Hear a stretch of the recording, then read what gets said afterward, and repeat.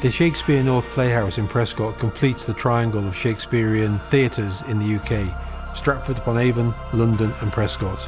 It's been talked about for well over a decade, and it's really exciting to be actually in the ground now. This will be the most major opportunity for regeneration in Prescot for 500 years. Culture can be the rocket fuel for so much change. And it's not just about Prescot it's actually going to give a really great asset to Prescot, to Knowsley within the city region space.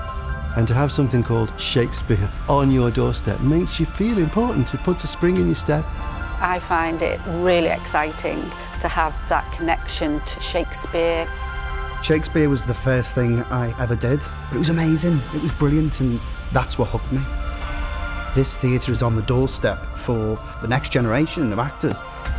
Prescot is the right place to house this theatre, but it's going to be so much more than the theatre. Others are now talking about how they can be part of this renaissance.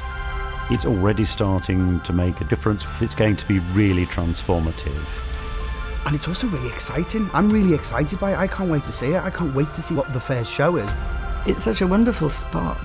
It's near to everywhere, and yet it's on its own, Prescot, and it's so exciting that this is going to happen.